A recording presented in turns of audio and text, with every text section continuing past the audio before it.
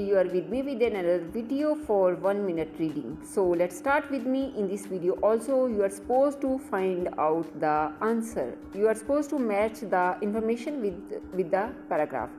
So you can see our today's topic is a new approach and let's move how we can match it in the paragraph. The question was a new approach and let's read with me. Finally this was the year that chinese design finally displaced a well edited and inspired showcase of products. Here they're talking about the showcase of products of the exhibition.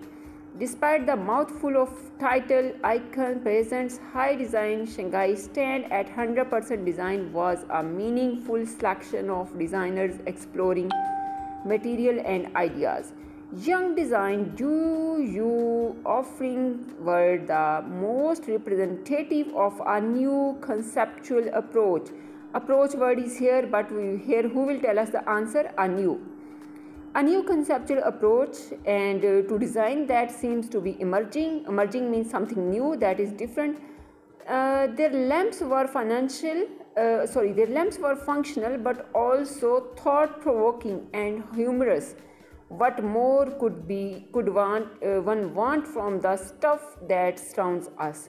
I mean they are talking about here a conceptual approach an emerging design a functional but also thought provoking so what was a new approach? A new approach was related to the all these new things like what type of new things were mentioned in the paragraph. So you can see we can find our answer in the last two lines of the paragraph. So best of luck IELTS candidates for IELTS reading. And continue with me subscribe my channel to understand the different concepts of reading in my other videos as well. And my other videos for the prediction will be very useful. Thank you